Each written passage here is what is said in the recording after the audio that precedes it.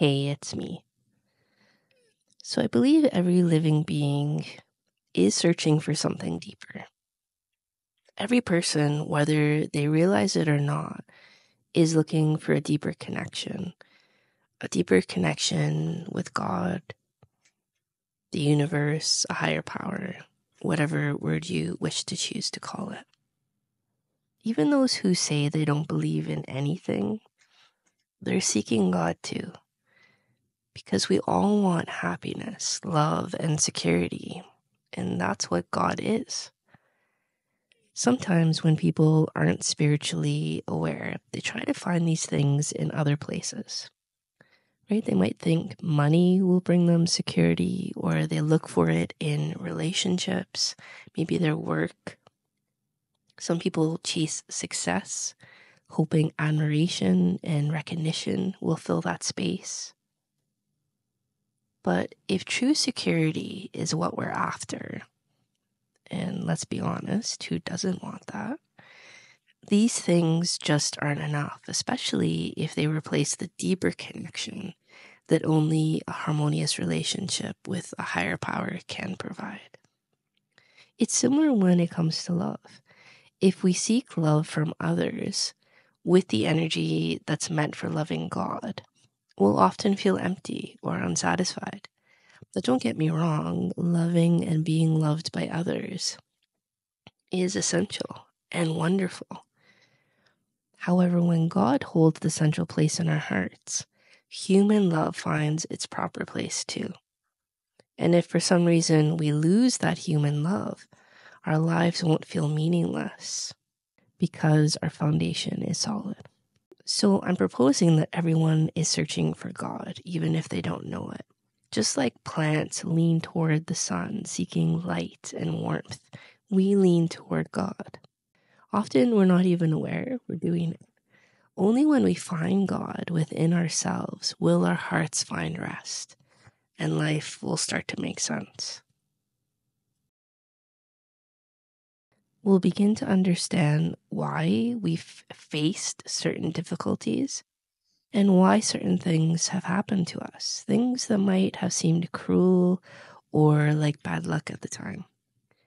Life will have a deep meaning, and we won't be bitter about the hardships anymore. We'll be grateful for them, even because we'll see how they've helped us grow. I think people search for God in different ways, but He can't be found outside of ourselves. I don't think God is found necessarily in a building or up in the sky. He lives within each of us. Even though we might know this, many still search in the wrong places. No matter what you believe, the only way to find God is by going through your own lower self, the parts of you that you might not like or want to face. Think of it like this Imagine you have a treasure buried deep in the ground. Let's say it's in your backyard the only way to get it is to dig through the dirt. You have to get your hands dirty for a while, but you know it's worth it because at the end of that is that treasure. And there's just no other way. You have to dig through the dirt. So why not do the work to uncover the treasure of God within you? Hoping to find the greatest treasure without facing your own shortcomings doesn't make sense. It's like trying to get that treasure in your backyard without digging through the dirt. Yet many still hope to do just that. Some people try to find God by seeking general knowledge or doing certain spiritual exercises while ignoring the real issues right in front of them. If you tackle the immediate difficulties in your life and look within, you'll find God is much closer than you thought. If you try any other way, He'll seem infinitely distant. To find God, you need to recognize your hidden feelings and see them in the light of divine truth. Be honest about how you really react and feel instead of pretending otherwise. As we've talked about, I propose we start by clearing our faults, seeing our faults for what they truly are. we need to find those parts of ourselves we're not even aware of yet. So test yourself about your true feelings only by taking this path, facing your lower self, and working through it step by step with courage. Will you find true happiness and security in God? Now, you might be wondering as I say this, well, how can I do that? And there are many ways to start. We've mentioned a few. It's understood by those on the journey that you often have to tackle problems from more than one angle. You can't find God without working to overcome your imperfections. At the same time, you can't overcome these imperfections all by yourself, no matter how strong or willing you are. You need God's help. So it's kind of a back and forth process. First, consider meditating to recognize and understand your imperfections and faults. And then from there, build a bridge. Honestly analyze what's going on inside you. Maybe analyze isn't the best word. It's more about bringing awareness to it. We don't want to overthink it. It's not as hard as it might seem as long as you truly want to do it. You need to recognize that there is a lazy part in all of us, that part that doesn't want to put in the effort or face discomfort. As long as you don't see this laziness in yourself, you can't move forward. At one point, your work focuses on the imperfections in your lower self. At another, you actively ask for God's help, even if you don't feel a strong connection with Him just yet. With whatever connection you have, ask for His assistance to keep building that bridge. And it's that ongoing process that's required for you to work from both sides. Now, I can tell you there's a sure way, a shortcut in a sense, to establish a personal relationship with God. Many believe in God but still have doubts deep down. Sometimes we're afraid to face those doubts, hoping they'll just go away if we ignore them. That's not how it works you're made up of many conflicting feelings, and that's okay. It's okay to acknowledge that.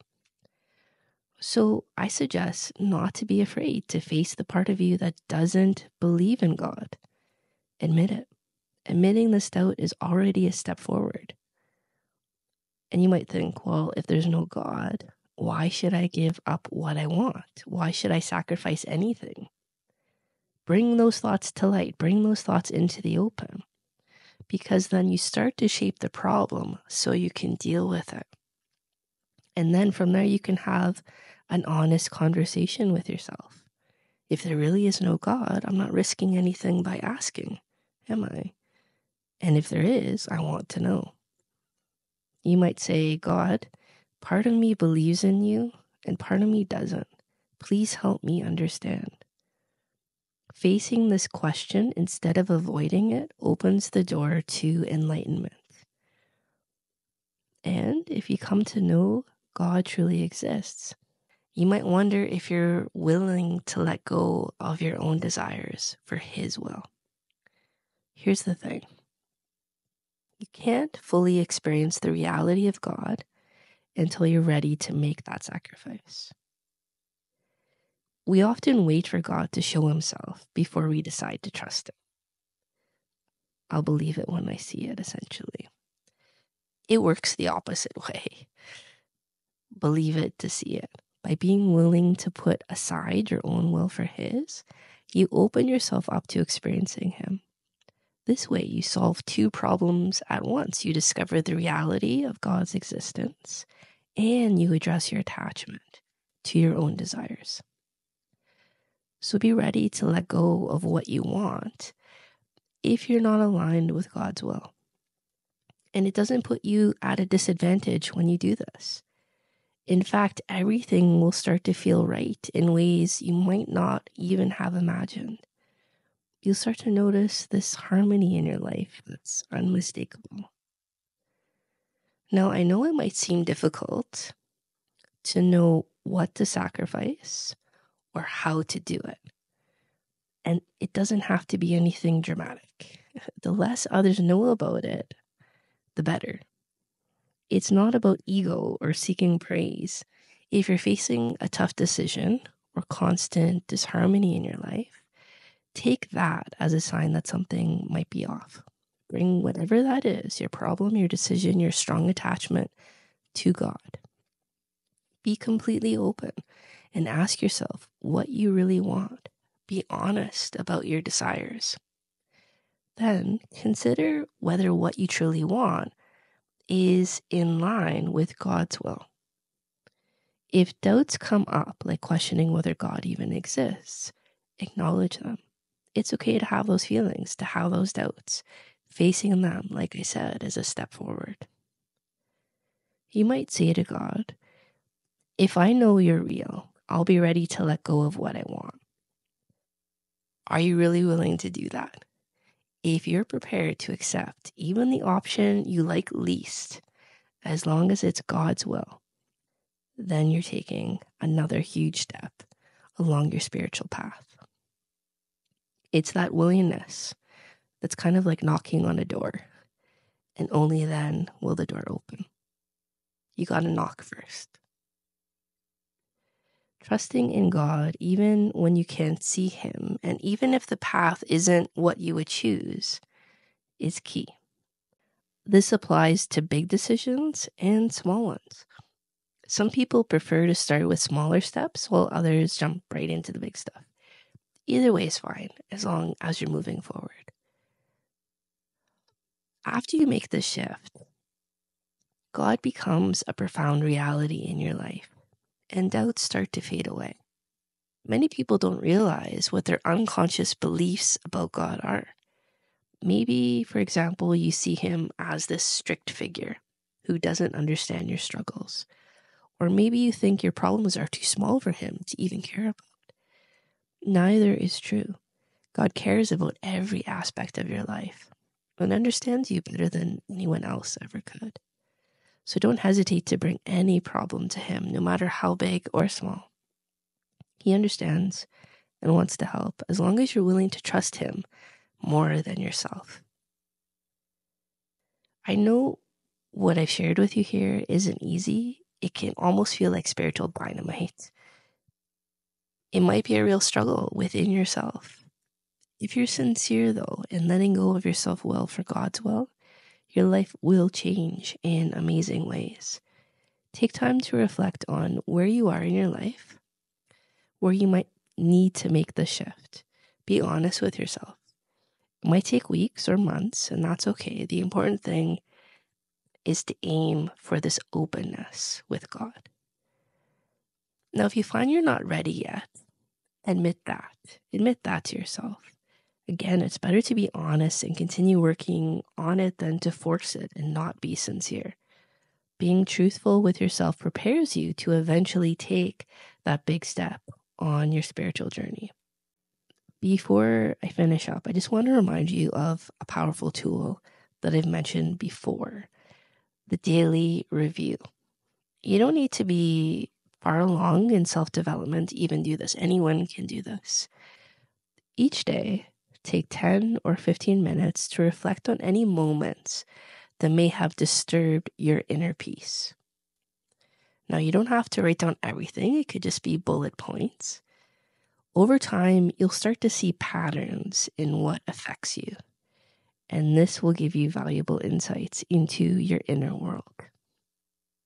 So, after keeping this daily review for a while, read through your notes and see if you can spot any recurring themes or patterns. Ask yourself, how might these be connected to any of my own faults or areas where I might be out of sync with deeper truths? Ask God for enlightenment and understanding these patterns. This practice doesn't take much time, it doesn't take much effort, yet it can be incredibly helpful in making the unconscious conscious.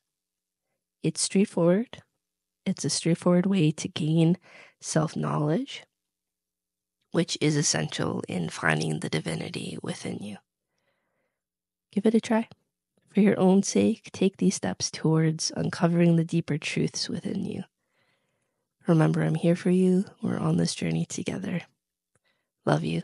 Connect soon.